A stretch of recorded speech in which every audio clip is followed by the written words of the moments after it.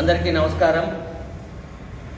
నిన్నటి రోజు వైఎస్ఆర్సీపీ కార్యకర్తలు కుప్పం నియోజకవర్గంలో చేసిన అరాచకం చూస్తుంటే రాష్ట్రంలో ప్రజాస్వామ్యం బతికి ఉండదా అనేది ఒక అనుమానం వస్తోంది. ఈరోజు జగన్మోహన్ రెడ్డి గారికి పత్రికాముఖంగా అడుగుతున్నా గతంలో నీవు మూడున్నర వేల కిలోమీటర్లు పాదయాత్ర చేసినప్పుడు చంద్రబాబు నాయుడు అడ్డుకుని ఉంటే నువ్వు పాదయాత్ర చేసేవాడివా అని చెప్పి నేను ఈ పత్రిక ద్వారా నేను ప్రశ్నిస్తున్నా. ఈరోజు మూడేళ్ళ పరిపాలన అయింది. వైఎస్ఆర్ ప్రభుత్వం ప్రజల్లో అభిమానం కోల్పోతోందని చంద్రబాబు తెలుగుదేశం పార్టీ మరలా పుంజుకుంటోందని చెప్పి అక్కసుతో ఈరోజు వైసీపీ కార్యకర్తల్ని ఉసిగొలిపి తెలుగుదేశం పార్టీ మీద తెలుగుదేశం పార్టీ అధినాయకుని మీద కార్యకర్తల మీద దౌర్జన్యం చేసి ఎక్కడికక్కడ కొట్టి వాళ్ళని గాయపరిచిన మాట వాస్తవమా కాదా నేను ఈరోజు అడుగుతున్నా. ఒక్కసారి నువ్వు గుర్తు చేసుకోవాలా? జగన్మోహన్ రెడ్డి మీ నాన్న పరిపాలన చూసి ఒక్కసారి తెలుసుకో.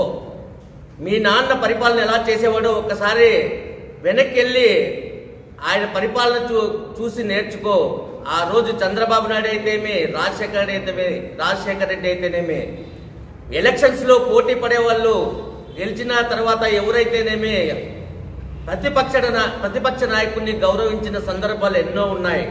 అలాంటి ఆయన కొడుకుతో కొడుకుకి నువ్వు ఆయన కడుపులో పుట్టి ఈ రోజు దౌర్జన్యాలు చేస్తున్నావంటే ఈ రోజు మీ నాన్న కూడా అక్కడ పైలోకంలో సిగ్గుపడతాడని చెప్పి నేను ఈ సందర్భంగా నేను తెలియజేస్తున్నా. అన్ని సర్వేలలో తెలుగుదేశం పార్టీ అఖండ మెజారిటీతో గెలిచి ప్రభుత్వం ఏర్పాటు చేస్తుందని చెప్పి వెలువడ్డాయి కాబట్టే ఈ రోజు ఈ దౌర్జన్యాలకి పాల్పడి తెలుగుదేశం కార్యకర్తలు ఎవరు కూడా పార్టీలో ఉండకుండా పరిగెత్తిపోవాలనే ఈ దౌర్జన్య కాండ నువ్వు చేస్తున్నావు. ఇలాంటివి నువ్వు రోజు చేస్తూనే ఉన్నావు. తెలుగుదేశం పార్టీని బలహీనం చేయాలని చెప్పి కంకణం కట్టుకుని ఇలాంటి దౌర్జన్యాలు చేస్తూ ఉన్నావు. అన్నా క్యాంటీన్ నిన్నటి రోజు బీద వాళ్ళకి అన్నం పెట్టే అన్నా క్యాంటీన్ను ఓపెన్ చేయాలని చంద్రబాబు నాయుడు గారు వెళ్తే అక్కడ పేదలకు అన్నం పెట్టే అన్నా క్యాంటీన్ కూడా మీరు దౌర్జన్యంతో అక్కడ పగలగొట్టి పేద పేదవాళ్ళకు అన్నం పెట్టే కార్యక్రమాన్ని కూడా నువ్వు అడ్డుకున్నావంటే నీవు ఎంతటి దుర్మార్గుడు ఈ పత్రిక ముఖంగా మేము తెలియజేస్తున్నాం. ప్రజలు కూడా నిన్ను క్షమించరు.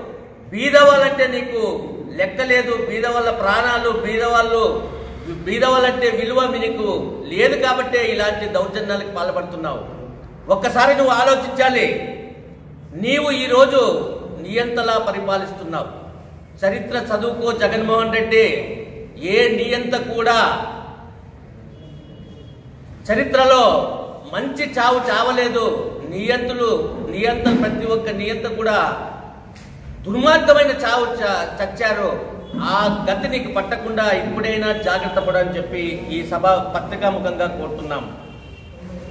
అలాగే కార్యకర్తలు లీడర్లు తప్పు చేస్తే ముఖ్యమంత్రి కంట్రోల్ చేస్తారు. కానీ ముఖ్యమంత్రే తప్పు చేస్తే ఎవరితో చెప్పుకోవాలి? ఈ రోజు రాష్ట్రంలో రావణ కాష్ట చేశావు. కార్యకర్తల్ని ఉసిగొలుపుతున్నావు. ప్రతి ఒక్కరిని తరిమి తరిమి కొట్టి గాయపరిచి ఆసుపత్రి పాలు చేస్తున్నావు. ప్రకృతి చూస్తూ ఊరుకుంటుందని చెప్పి అనుకోవద్దు జగన్మోహన్ రెడ్డి. ఒక్కసారి ప్రకృతికి పరువు మోయలేని పరువు అనుకున్నప్పుడు నిన్ను కూడా దహించి వేస్తుందని చెప్పి ఈ పత్రికా ముఖంగా నేను హెచ్చరిస్తూ తెలుగుదేశం పార్టీ తరఫున నిన్నటి రోజు జరిగిన ఈ దుర్మార్గమైన దౌర్జన్యాన్ని ఖండిస్తుందని చెప్పి నేను ఈ పత్రికా ముఖంగా నేను తెలియజేస్తాను